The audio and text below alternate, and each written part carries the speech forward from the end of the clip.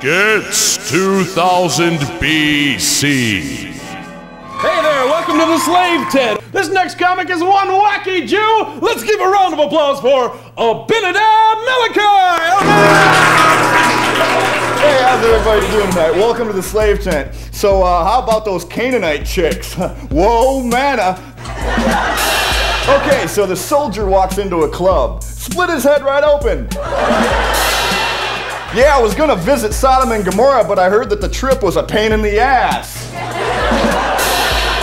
Hey, here's my impression of Pharaoh and his men. How did Moses get his brother's birthright? Egypt him out of it.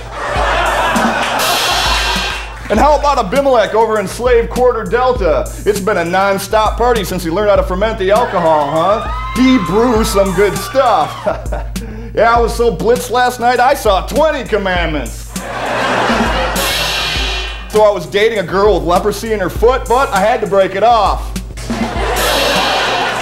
Coming up next, Pyramid Head. I'm parting the Red Sea. Woo! Hey. It's